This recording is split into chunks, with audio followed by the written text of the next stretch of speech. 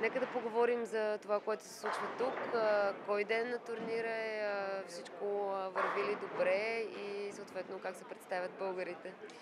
Организацията върви отлично. Вече това е 8-я ден на турнира, последния в който може всеки да се класира за финалите.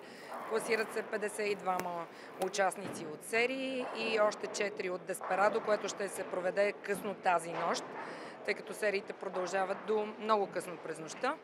А, имаме, радваме се, че имаме участници тази година от 29 държави, 259 участника до момента, като има тенденция до края на деня те да станат повече. Петима българи до момента са в топ 52 и се надяваме още някой да се включи в надпреварата за големия награден фонд от 55 000 евро, който ни нарежда тази година в топ 3 на най-силните турнири в Европа. Точно това доведе до идването на много силни участници. Едни от най-добрите представители на Европа в момента се борят за наградния фонд. В момента лидери в класирането са шведи, но също така в челните редици имаме и румънци от съседните държави и се надяваме, че всичко ще протече перфектно до края. Наистина прави впечатление, че първите места са окупирани от шведите. Там нали, е най-развит боулинга и съответно къде е България на, на тази карта?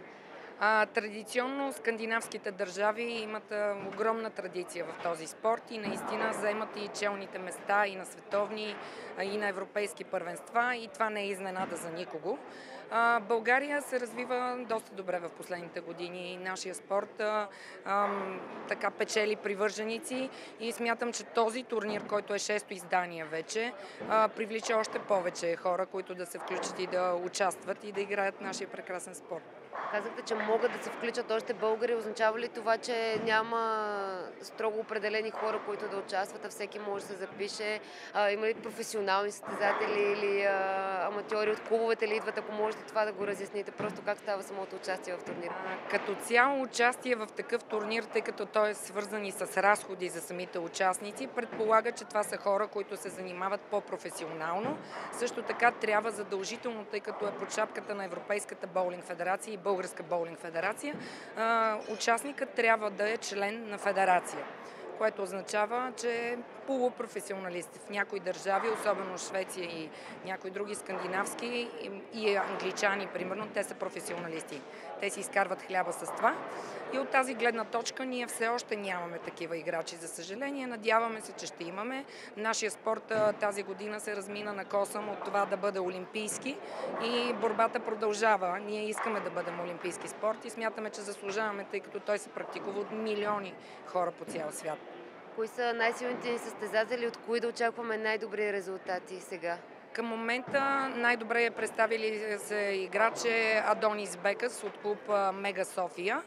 А, също така имаме и други представители, като Диан Динев, Пламен Станчев. А, и аз казвам, че има шанс още те да се класират, тъй като някои от тях ще играят по още един-два пъти до края на деня и може да подобрат резултата си и да минат по-напред в класирането и да ги видим на финала.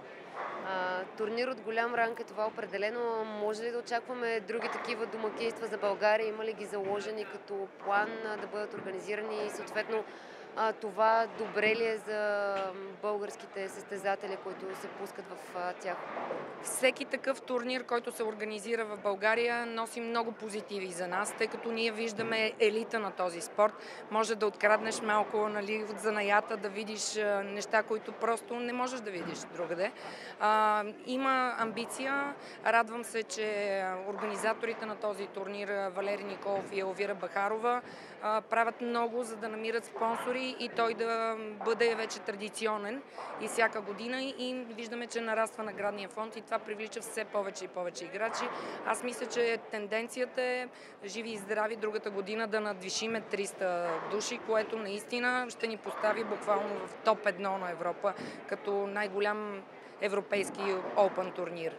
Жени участват ли да ви попитаме Да. в тези състезания? Участват жени, да. Аз също участвах дори. Просто се налага да замина на турнир във Франция утре и няма да мога да участвам. Дори да се бях класирала за финалите. Имаме и българки. Традиционно, пак казвам, шведките са така с най-стабилни резултати, но имаме и една холандка, която се представи перфектно. Ние играеме смесено с мъжете, като имаме по 8 точки хендикап на игра което за съжаление не е толкова достатъчно и може да се види, че като цяло жените са по-малко в финалите, но ги има, борят се достойно и са много красиви.